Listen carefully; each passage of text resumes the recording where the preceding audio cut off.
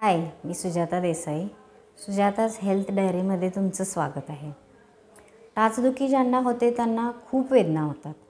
काही काही लोकांना सकाळी उठल्या उठल्या खाली पाय टेकवत नाही आणि दिवसभर जसं जसं ते चालत फिरत राहतील तसं त्यांच्या वेदना कमी होतात.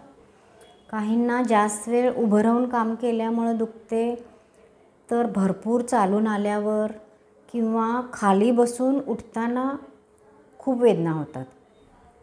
टाचदुखी कशामुळं होते? तर तुम्ही हाय हिल्सचे चप्पल घातला तरी तुमची टाच दुखते. किंवा खूप फ्लॅट चप्पल्स घातले तुम्ही तरी तुमची टाचदुखी होते. तुमचा जर सांधेदुखीचा प्रॉब्लेम असेल किंवा संधिवाताची सुरुवात असेल तर ते टाचेपासून सुरुवात असू शकते. तर तुमचं पोट साफ होते का याच्याकडे लक्ष द्या. तुमचं वात पित्त याचं संतुलन आहे का याच्याकडे बघा. तुमची कॅल्शियम डेफिशियन्सी असेल व्हिटॅमिन डी डेफिशियन्सी असेल तरीही तुमची टाचदुखी होऊ शकते. काही काही वेळा डॉक्टर सांगतात की तुमचं टाचेचं हाड वाढलेलं आहे आणि काही वेळेला टाचेमध्ये इंजेक्शन्स दिली जातात. स्त्रियांमध्ये टाचदुखीचं प्रमाण जास्त दिसून येत आहे ते सतत उभारून काम केल्यामुळं किंवा घरामध्ये जी हार्ड फरशी असते आणि स्त्रियांचा सतत वावर असतो दिवसभर. त्याच्यामुळे ही टाचदुखी होते. किंवा व्यायामाचा अभाव हे एक महत्त्वाचं कारण आहे. आहाराकडं होणारं दुर्लक्ष हेही एक कारण आहे. संधिवाताची सुरुवात असेल तर त्याचं मुख्य कारण आहे की तुमचं पोट साफ होत नाही आहे आणि त्याच्याकडे तुम्हाला आवर्जून लक्ष द्यायचं आहे. तुम्ही डॉक्टरकडे गेला तर तुम्हाला टाचेमध्ये इंजेक्शन्स दिली जातात किंवा काही मेडिसिन्स दिली जातात. घरच्या घरी तुम्ही टाचदुखीसाठी उपाय करू शकता. खोबरेल तेलाने थोडा मसाज करा आणि त्याच्यानंतर त्याच्यावरती तुम्हाला वाळूनी किंवा विटेनी शेकायचं आहे. किंवा तुम्हाला असं समुद्रकिनारी गोल दगड वगैरे मिळतात तसं तुम्ही दगड आणून ठेवला तरी चालेल. ह्याच्यामध्ये मी वाळू बांधलेली आहे एका कॉटनच्या पिशवीमध्ये. तर ही तव्यावर तुम्ही अशी गरम करा खालची बाजू आणि तुमचा जो दुखणारा भाग आहे टाचेचा त्याच्यावर तुम्ही असं शेक द्या. जास्त वेळ असा ठेवू नका. पण असं पटकन तुम्ही असं गरम गरम शेक द्या. हा विटेचा तुकडा आहे. एका साईडला प्लेन आहे आणि इकडं असं धरण्यासाठी मी केलेला आहे.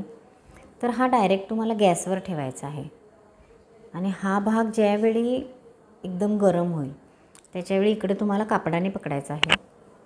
असं एखादं कापड घ्या रुमाल घ्या असं वरती गच्च पकडा आणि गरम गरम तुम्हाला असा शेक द्यायचा आहे.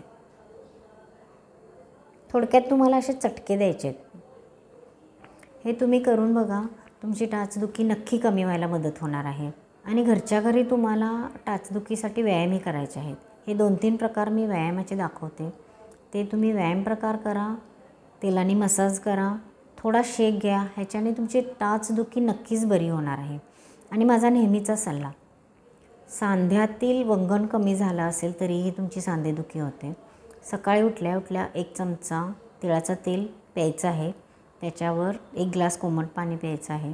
त्याच्यामुळं तुमचं सांध्यातील वंगण छान प्रकारे मेंटेन होणार आहे आणि याच्यामुळे तुमची कुठलीही सांधेदुखी होणार नाही आहे इवन टाचदुखीसाठी सुद्धा हा उपाय लागू होतो.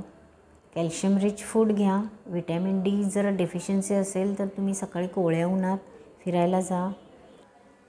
टाचदुखीसाठीचा पहिला व्यायाम पायाखाली अशी लांबट एखादी वस्तू घ्या आणि असा रोल करायचा आहे.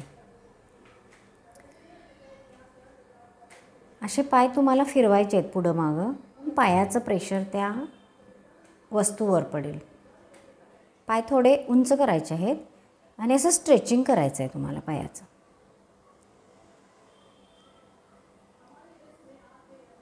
पूर्ण तुमचे हे दोन्ही पायाचे मसल्स स्ट्रेच करा असे. एकदा तुम्हाला असं बोटांवर उभं राहायचं आहे आणि टाचांवरती. अच्छा अल्टरनेट तुम्हाला हे पाच पाच वेळा करायचं आहे.